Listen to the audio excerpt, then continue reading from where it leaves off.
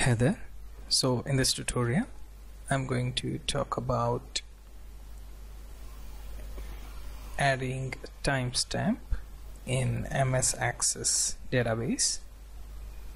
For, for that we are going to create a sample database. Then we are going to add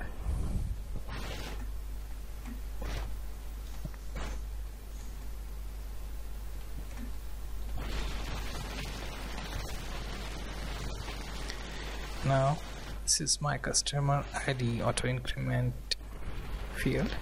Then I'm going to add another text.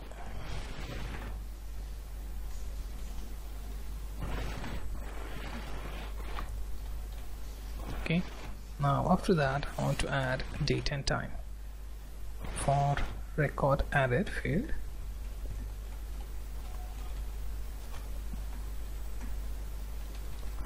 okay after that before we add a new record we are going to check if this time picker is shown. Okay date time is here. But you have to see that for each new record added you have to manually pick this one. So in order to make this automatic we are going to change the view to design view. Let's save the table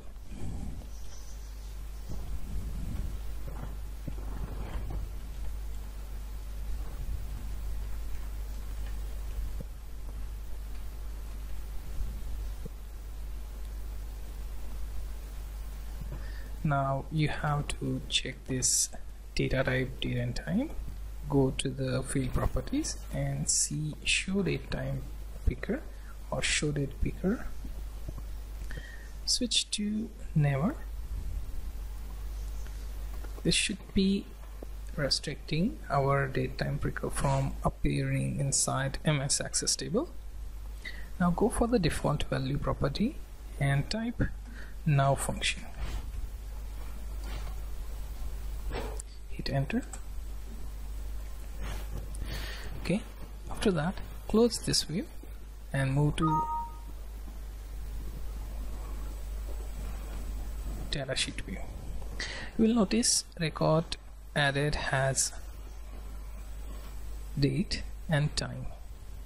You can just add name and this will move to another new record where you have new time and date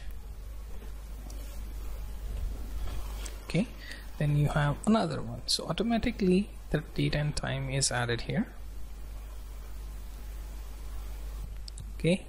So you now know how to add automatically add a new date and time for the record in your database table.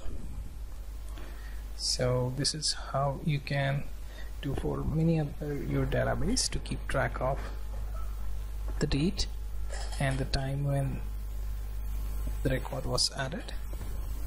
I hope you find this tutorial helpful and I will see you in next tutorial. Thank you